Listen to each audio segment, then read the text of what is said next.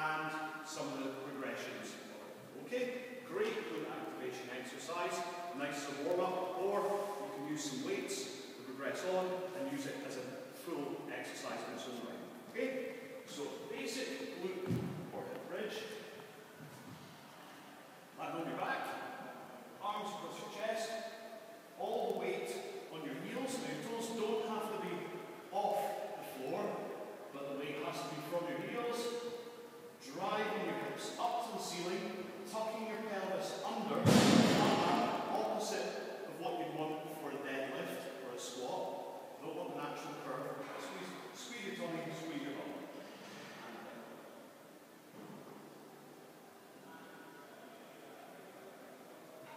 Easy progression